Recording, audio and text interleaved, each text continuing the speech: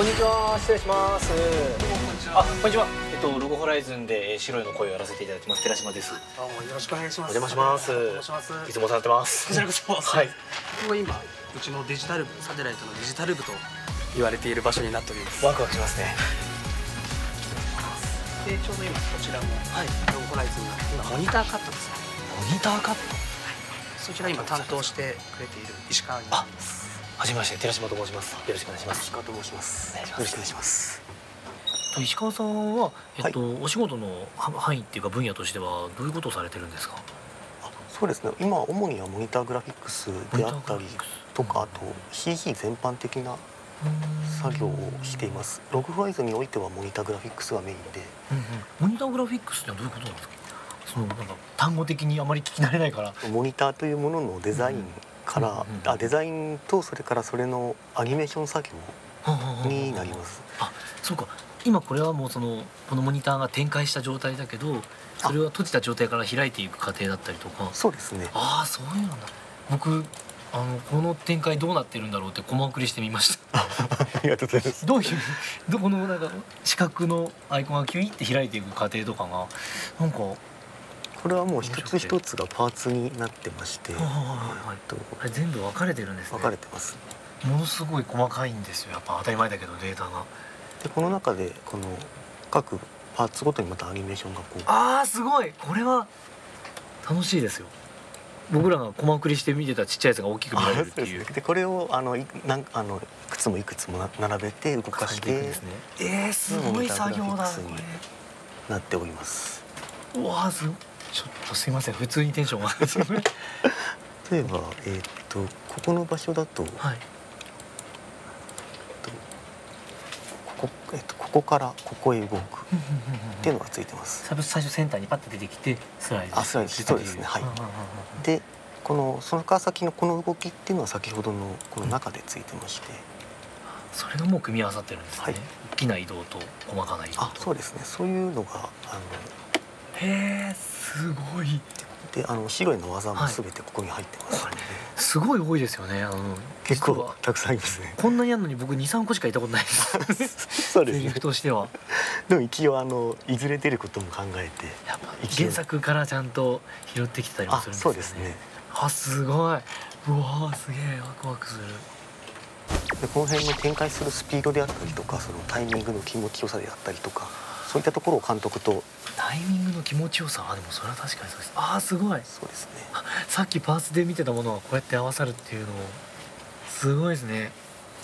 しかもこのまだアニメーションの絵ができてない状態で先にこのモニターだけできてるからより分かりやすいっていうのは原画さんの方で、うんあのあらかた動きはキーになる動きはつけていただいてるんで、それをベースに作っています。なるほど指がこの辺に来るからそのタッチするところにちょうど合わせるようにああそうですね。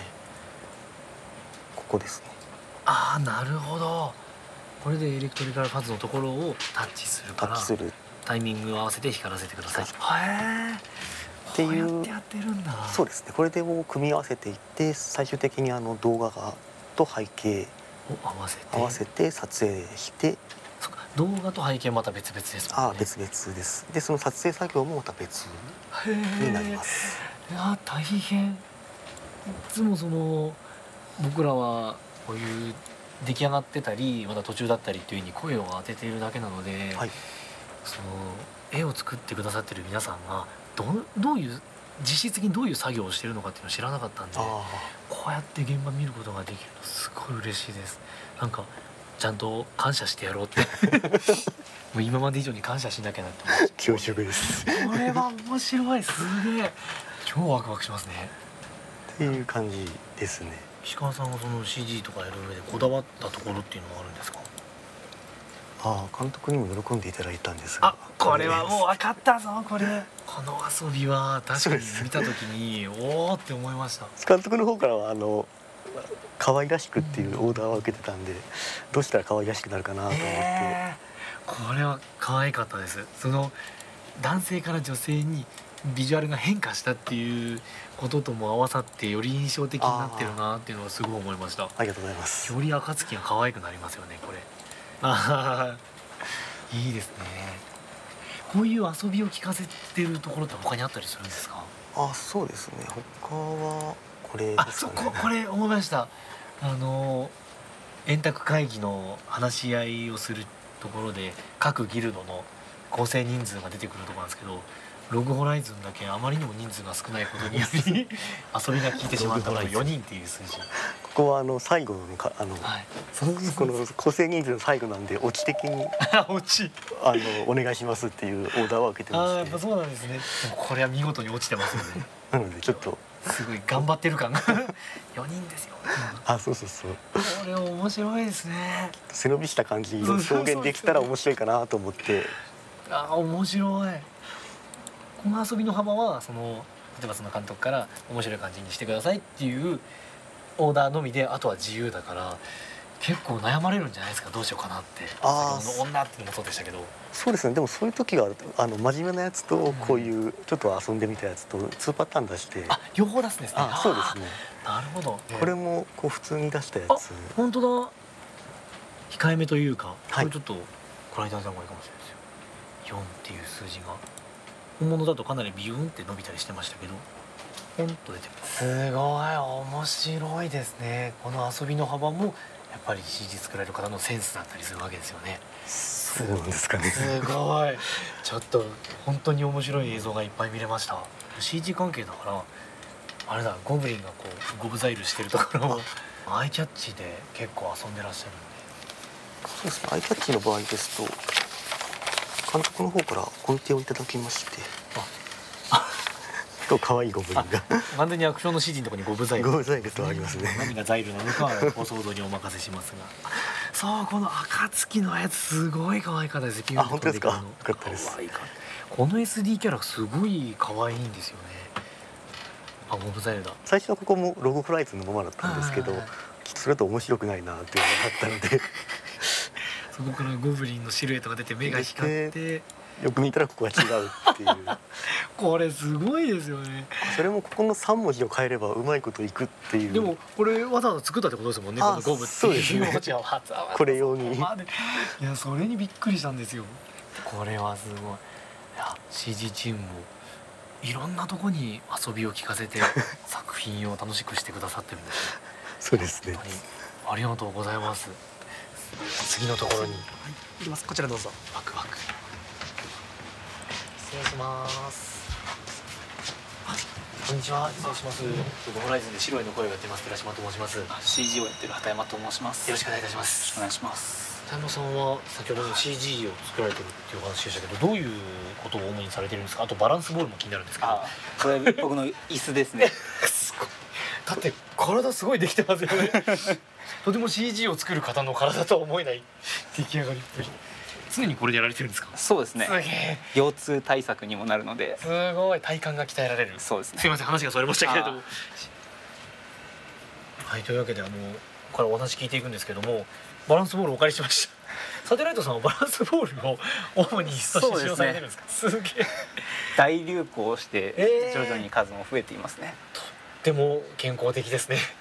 なんか川森さんの何かが流れてるんじゃないかっていう気がしますじゃあちょっと CG のお話伺っていくんですけれどもどはい、うやってその CG が作られているのかってはい。あのーアニメ見てるだけではやっぱりわからないんですけど、はい。まずはその一個一個の素材というか個体を作っていくってことですか？ゴブリンであればこういうデザイン画をもとに、はい。えっと、3DCG 上でモデルを。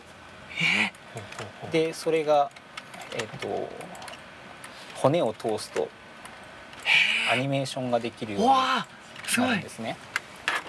見づらいかもしれませんが中に骨がこういうふうに。入っているので。へえあ手手指の細かいところまでちゃんとそうですね。入ってるんですね。グーパーグーパーできるように。これを一体作るのにどれぐらいかかるんですか？そうですね。大体まあ一月二月とかでこの一体を組み上げ。そうですね。わあすごい。でもそうですよね。こんだけ細かく設定されていれば。で骨が入って動く状態になったら、もうあとはアニメーションをつけるだけなんですけど直接触って。直接触ってあその画面上でこう手を上げてあげればこう手が上がる。一連の流れがアニメーションとして記録されるんですね。はい。えーじゃあ動きつけるのもいやこれお芝居ですよねもう完全に。そうですね。えー、すげえ。じゃあアクションとか例えばそのゴブリン関係ないかもしれないですけどカンフーのものを CG で作ろうと思ったらカンフーの人の動きをなんかこうモチーフにしたりするんですか？そうですね。動画であったりあとは実際になんとなく習いてみたりとかする方もいらっしゃると思います、うわすごい面白い。じゃあいろんなこと知ってないとやっぱり動かせないんですね。そうですね。常に勉強だと思います。じゃあゴブリンとかこう人間の体と作りが違うものはより想像力がそうですね。あゴブリンですと監督からあの猿のような走り方ちょっとっていう前かがみで。そうですね。オーダーがあったのでこれがああ走ってる。すごい。アニメーションをあすごいすごい。さっきの要領で動かして作ったものになりますね。これでもあのさっきの感じだといワンアクションで手しか動かせないじゃないですか。はい。それは足とかを後で動きのタイミングを合わせるんですか？別々に動かして。えっとこのスライダーを見ていただくと分かるんですけどここごとにこうポーズを全身のポーズをつけてあげるとだ感覚としてはそのアニメだと原画を打っていくような。なるほイどメージで。そうやって動かしてるんですね。へえあすごい。こういう設計段階のものを見るの大好きなんですよ。なかなか見る機会もないですよね。ね。フィギュアとかも原型のグレーの状態すごい好きなんですよ。わかります。たまらないですねこれ。でこれが今1体ですけど、はい、いっぱい出てきいっぱい配置してそれぞれに動きをつけてそうですね。に画面作っていくんですよね。で大体普通の CG っていうのはこのこのソフト上で大体完結させるんですけど、サテライトでは群衆をやるにあたって他のソフトにマッシブというソフトがあるんですけど、はい。その群衆群衆の専門のソフトで、で群衆専門ソフト？あなんかすごいよくよくわからない難しそうなのが。でこのソフトの特徴というか、は AI を持つことができまして、あのこれがそうなんですけど人工知能みたいな、はい。周りの状況に合わせてこういう動作を取るみたいな。のをコンピューターが勝手につけてくれるんですか？はい。ええすごいなんだそれ。でこれはちょっとサハギンのシーンで数が多いって分かりづらいんですけど、もうもう米粒みたいな状態ですけど。2,000匹のサハギンが。うわ2000匹で2000匹配置するだけでも大変ですよねなんか。それはこのソフトの優秀なところでそれもやってくれるんです簡単に。じゃあ数2000って言ったらばそうですね。へえちょっと今これだいぶ引きの2000匹ですけどはいこれ。僕冒険者だと思うと絶望ですねこれ。4,000にするとうわポンって倍になります。えじゃあこれを例えば1万にするとこんな確実に冒険者やれます。ねこれは無理ですね。ちょっと。すげえ。あこんな。例えばこの辺はなんかちょっと密集してて乱戦になっているとかこの辺はもうあらかた片付いてるっていうのはじご自身で調整してっていそうですね。へえすごい。これはすごい。1万匹はちょっと戦えないですね。ちょっといい案が思い浮かばないです攻略の。白いでもダメです、ね、ちょっと厳しいですね。1万ちょっと秋葉の人口総動員するぐらいじゃないと難しいですねこれは。へえ面白い。でここでやってるそのアクションとかそのはい。細かな配分とかは多分やられてるんでしょうけどはい。その中でのそのバトルみたいな個々のバトルっていうのはコンピューターが計算してやるんですか、えっ、とさせることもできるんですけどえっとちょっと、まあ、サテライトとしてはそのより手付けのアニメーションとかそういうところを重視していきたい部分がありまして基本的にあの目立ったりするようなとか特別な動きとかはうわサハギンクこういうところは全部一体一体手でー動かしてるんですね。動かしていて。サファインでこういう こういうなんかちょっと楽しそうなですね。オーダーがあってペタペタ走ってくれと。あーペタペタしてる。あれあれですよねあのあのダイビングとかで水かきつけた人が歩いてるみたいな感覚ですね。はい。へえ面白い。で実際使ったシーンだとこの奥のこの隙間とかから見えるのをこっちのマッシブっていうソフトで賑やかしをやってますねこれ例えばその一体にその例えばサファギの特徴的な動きは記憶させてそれを全部に反映させたりとかっていうそうです。感じなんですか？へ大体3パターンぐらい入れておけば割とまあばらけて見えるえあーなるほど。すごい作業。これはあとバランスボールが意外と楽しいですよね。えー、すっげえ。ありがとうございます。これはすごい。面白いもの見せていただきましたね。なんかご自身でその監督からの要望の範疇を超えた遊びみたいなのとか作ったりするんですか？そうですね。多分先ほどお話聞いてたと思うんですけどゴブザイル。あゴブザイル。もともとはそのゴブリンの耐久モーショ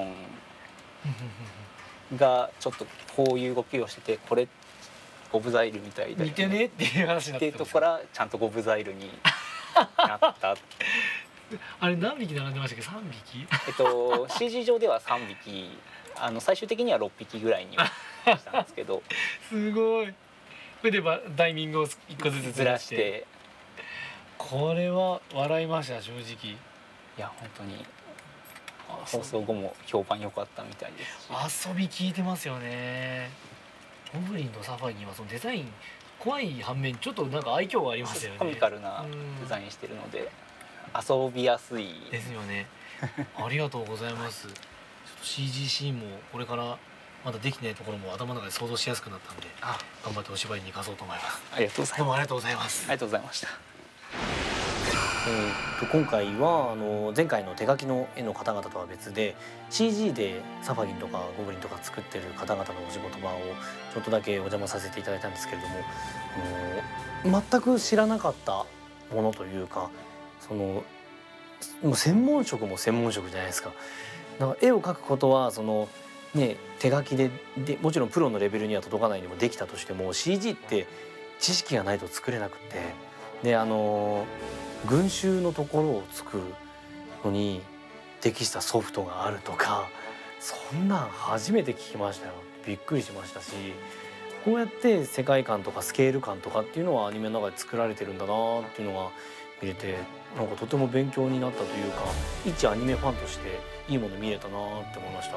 まあ第3巻でね皆さんにもきっとご覧いただいてると思いますけれどもあの手手で描いてる絵の方そして今回第7巻で CG で作っている絵の方を両方見ることができてより深くもう僕は声入れた後はただのファンでしかないのでより深くログホライズンのアニメを楽しめるようになるんじゃないかなと思いましたなんかクリエイターさんたちのやっぱセンスっていうか依頼されたものをただその通りに返すんじゃなくて100点じゃなくて150点とか200点で返そうとかいかに遊び心が入れられる場所を見つけるかっていうのがなんか同じまあ作業が違えど同じ表現者として見習わなきゃいけないなっていうかいかに自分の個性を出せる部分を探すかっていうのはちょっと見習いたいなってやっぱ思いましたし単純にこういう人たちが作ってるんだと思うとなんか親近感が湧くというかあいろいろ遊びながら楽しんで作ってくださってるんだなっていうのがすごく伝わってなんか嬉しくなりましたね。